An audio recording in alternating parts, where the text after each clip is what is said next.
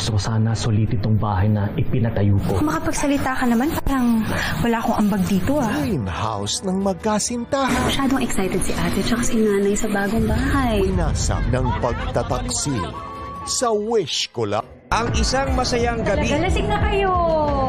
hindi inaasahang mag-uwi sa malagim na katapusan. Babae pinatay sa sakal at saksak sa leg. Pinoy Crime Story. Sabado, 4.45 p.m. Pwede po bang magpa-picture? Yo, bakit naman ganito? Gusto ko sana magpa-shoutout sa lola ko. Hey, payaman, guest ngayong Sabado. Relax ako lang to. Pepito Manaloto, tuloy ang kwento. Mas maaga na, 6.15 p.m. Kay na rin sa habulan at kulitan ng ating celebrity guests.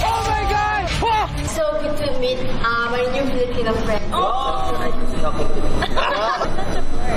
This season is going to be more kay lamig at kay saya. Yung washing machine kaliwa, tapos kanan. Running Man is the best. Manood kayo, tayo mag-enjoy lahat.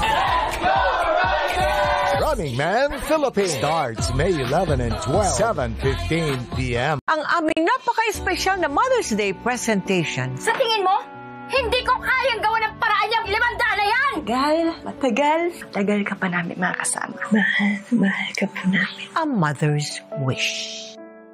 Pag ah, may bumili dito sa side na to, sa akin ang benta. Subukan mo naman.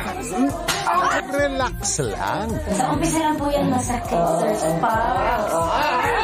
Open 24-7, Saturday, 9.30 p.m. Sa isang bansang napalilibutan ng tubig, Tuwing kailan lang po kayo nakakatikim ng mineral? Sa isang buwan, isa lang. Wala, talagang butubig balon lang. maniniwala ba kayong may mga lugar na salat sa tubig at ulan, animoy disyerto sa karagatan? Sa ganito mga insidente ng pagmamalupit at pang-aabuso sa mga kababaihan.